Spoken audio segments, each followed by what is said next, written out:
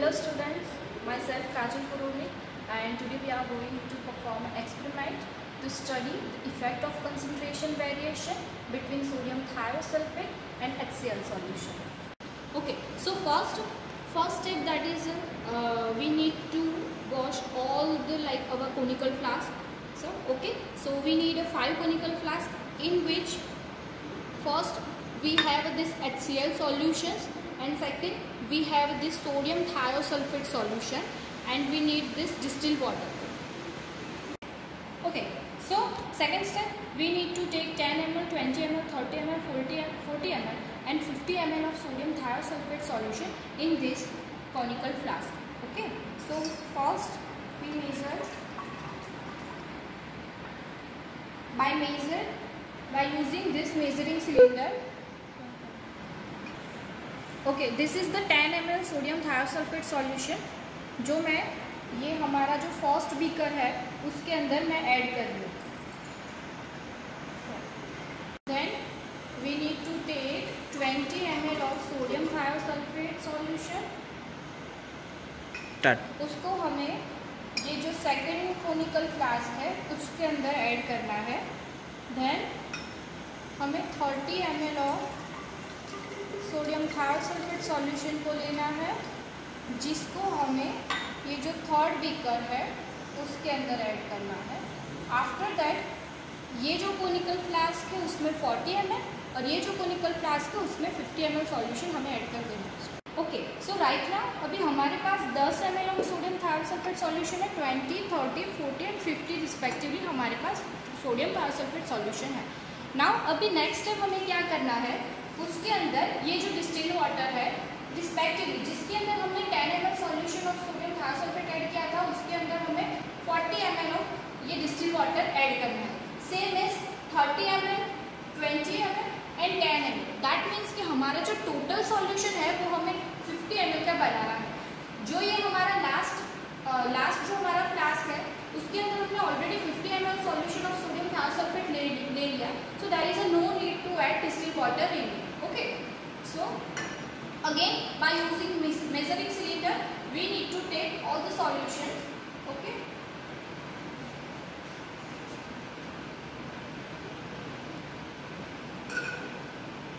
Okay. This is the 40 ml distilled water which i add in this 10 ml uh, solution. So our total solution which is 50 ml okay this is the thirty M solution जो हमें add करना है। हमारा जो second flask है second number का flask उसके अंदर। सो so अगेन इसमें भी हमारा फिफ्टी एम सॉल्यूशन हो गया है।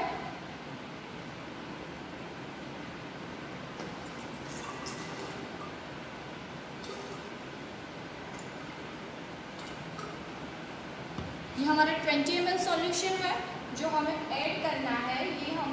थर्ड फ्लास्क है, उसके अंदर। That ten M L solution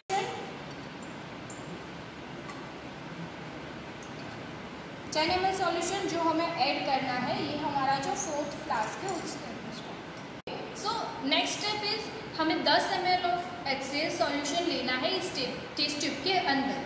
जो हमें, ये हमारा जो 50 एम सॉल्यूशन है, उसके अंदर ऐड करना है। क्यों ऐड करना है? क्योंकि हमें इफ़ेक्ट ऑफ़ कंसनट्रेशन फाइंड करना है कि बाय uh, यूजिंग ये जो हमारा 50 एम सॉल्यूशन है उसके अंदर हमने 10 एम सोडियम थायोसल्फेट लिया था और 40 एम हमने ऐड किया था डिस्टिल वाटर इसमें 20 सेम एज रिस्पेक्टिवली हमने किया था. नाउ अभी एचसीएल को उसके अंदर डाल के हमें कंसनट्रेशन चेक करना है कि उसकी कंसनट्रेशन क्या आती है. ओके सो अभी हमें क्या करना है कि एक कागज़ लेना है जिसके ऊपर ऐसे क्रॉस क्रॉस करके रखना है. नाउ ये जो हमारा 50 एम सॉल्यूशन है, जिसमें 10 एम सोडियम थायोसल्फेट और 40 एम हमने डिस्टिल वाटर ऐड किया था, उसके अंदर हम ये 10 एम जो हमारा एच सॉल्यूशन है, वो ऐड करेंगे और यहाँ पे हमारा जो स्टॉप वॉच है, वो चालू करेंगे, ठीक है? सो नाउ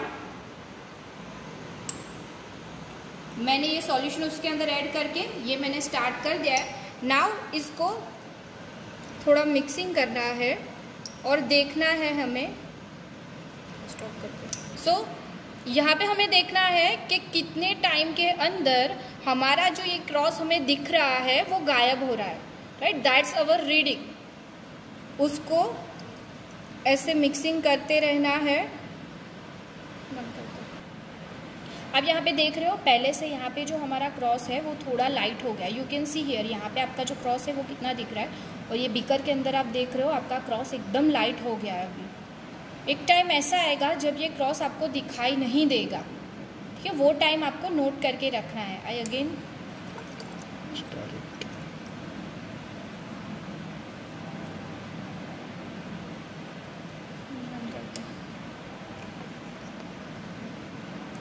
अब यहाँ पे देख रहे हो कि क्रॉस जो आपका है, वो ऑलमोस्ट मतलब जाने ही वाला है। एंड यू कैन सी आपका जो क्रॉस है वो ऑलमोस्ट चला गया है। सो so, यहाँ पे आपको अपनी जो वॉच है वो स्टॉप कर और ये जो टाइम है ये जो टाइम है वो आपको नोट कर देना है। ओके सो सेम एज जैसे हमने पहले प्रैक्टिकल किया था सेम एज अभी हम हम यहाँ पर हमारा 20 M L sodium thiosulphate solution है और हमारा 30 एम एल डिस्टिल वाटर है जिसके अंदर ये हम 10 M L of H C solution इसके अंदर हम ऐड कर रहे हैं। और ये हमने वॉच स्टार्ट कर दी है। इसको स्टर करना है हमें। सेम एज आगे हमने वेट किया था ये एरो जो है वो गायब होने के लिए सेम इसके अंदर भी हम वेट करेंगे कब एरो गायब होता है। ओके okay, आप यहाँ पे देख रहे हो ये जो आपका एरो है वो बहुत लाइट हो गया है। और ऑलमोस्ट uh, जो एरो है वो गायब हो गया सो हमें यहाँ पे हमारी जो वॉच है वो स्टॉप कर can note the time 59.42 seconds right second beaker के लिए इतना टाइम लगा। सेम एज हम हमारा जो थर्ड है जिसके अंदर 30 एम एल सोल्यूशन है और 20 एम एल डिस्टिल वाटर है ये फोर्थ वन और ये फिफ्थ वन का सेम एज हम ऐसे करेंगे एक्सपेरिमेंट ओके आप ये देख रहे हो हमारा जो थर्ड बिकर है उसमें से एरो गायब हो गया और you can note the time 43.16 second okay third जो हमारा सॉल्यूशन था उसके लिए इतना टाइम लगा। ओके okay, आप यहाँ पे देख रहे हो हमारा जो थर्ड फ्लास्क है उसमें ऑलरेडी हमारा जो एरो है सॉरी फोर्थ फोर्थ फ्लास्क है जिसमें ऑलरेडी हमारा एरो जो है वो डिसअपियर हो गया है and time you can note twenty nine point thirty eight second okay so so, ये हमारा लास्ट कोनिकल फ्लास्क है जिसके अंदर only 50 M of sodium thiosulphate solution है जिसके अंदर हमें ये 10 एम ऑफ़ एच सॉल्यूशन है जो ऐड करना है। नाउ उसके अंदर मैं सॉल्यूशन ऐड कर रही हूँ और यहाँ पे मेरा जो स्टॉप वॉच है मैं स्टार्ट कर रही हूँ। उसको जस्ट थोड़ा स्टर करना है और देखना है कि कितना टाइम लग रहा है।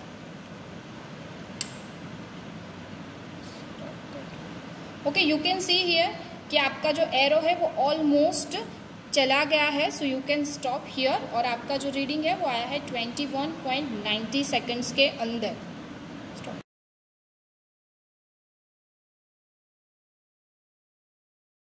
ओके सो दैट ये हमारा ऑब्जर्वेशन टेबल है. ठीक है? नाउ हमने आगे एक से पाँच फ्लास्क लिया था। सेम एज उसके अंदर फ़र्स्ट फ्लास्क के अंदर हमने ten M of sodium thiosulphate लिया था और वाटर जो डिस्टिल वाटर हमने फोर्टी एम लिया था। सो so दैट हमारा टोटल सॉल्यूशन हुआ था फिफ्टी एम का राइट right? नाउ हमने H C L one molar लिया था। उसके अंदर ten M of H C L हमने डालकर रिएक्शन देखा था। सो so, हमें रिएक्शन टाइम मिला था one thirty eight second right same here यहाँ पे सेकंड फ्लास्क में हमने 20 M of sodium thiosulphate and 30 M of volume of distil water लिया था। और वहाँ पे हमने, हमें 59.42 सेकंड मिला था। सेम एज अगर हम बात करें फ्लास्क नंबर फाइव की तो उसमें हमने only 50 M of sodium thiosulphate solution लिया था right so there is like उसके अंदर हमें वाटर या फिर डिस्टिल वाटर ऐड करने की कोई ज़रूरत पड़ी ही नहीं थी, क्योंकि total number of solution total volume of solution हमें 50 चाहिए।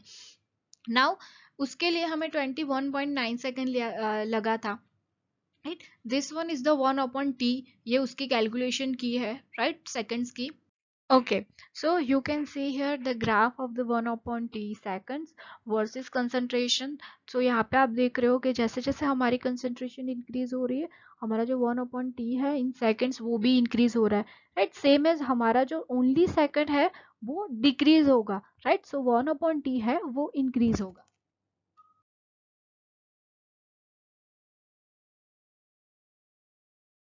ओके सो आपने देखा कि जैसे जैसे हमने कंसनट्रेशन ऐड किया 10, 20, 30, 40 M L of like excess और हमारा जो डिस्टिल वाटर है वो हमने ऐड किया था सोडियम थायोसल्फेट के अंदर।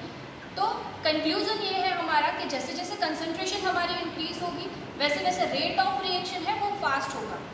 राइट फॉर एग्ज़ाम्पल हमारा जो 10 एम वाला जो सॉल्यूशन था राइट सोडियम थायोसल्फेट जिसके अंदर हमने 40 M L distil water solution add किया था वहाँ पे हमें टाइम मिला था वन थर्टी एट सेकेंड्स जितना राइट और सेम एज जो हमारा 50 M L of sodium thiosulphate solution था, जिसके अंदर हमने डिस्टिल वाटर नहीं ऐड किया था राइट जो हमें लाइक जो हमारा रीडिंग आया था 21 second 21.90 seconds so it is clear that कि जैसे जैसे आप कंसंट्रेशन इंक्रीज करते जा रहे हो, आपका जो रेट ऑफ़ रिएक्शन है मतलब कि जो आपके रिएक्शन होने की स्पीड है, वो जल्दी होती जाएगी।